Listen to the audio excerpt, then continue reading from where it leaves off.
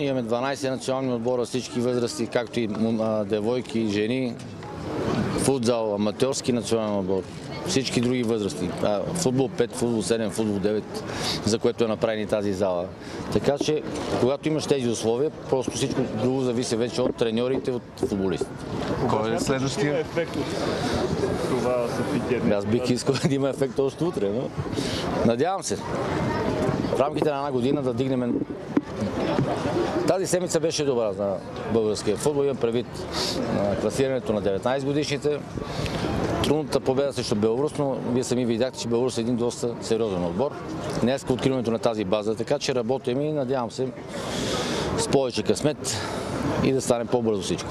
Кой е следващия голям проект, върху който трябва да започне да работи? Първо искам да се почина малко от това, което правя 6 години, е наистина.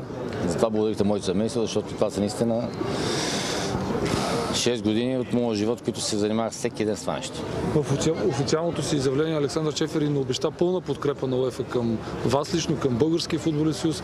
Може да ни разкриете в какво би се изразила тя и вашите разговори? В подобни неща, във всичко, в развитие. Както знаете, ние имаме 7-8 души в комисия на УЕФА.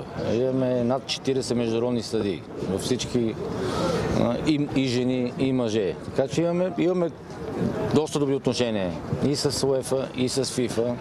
Както каза и Бобан, Инфантино беше взет, ще дойде на официална визита в България и тогава ще може да види, защото и ФИФА е дала пари за, за това нещо. План ли е и мечта ли е да говорим за национален стадион, нов в различен модерен? Значи национален стадион трябваше да питат министър.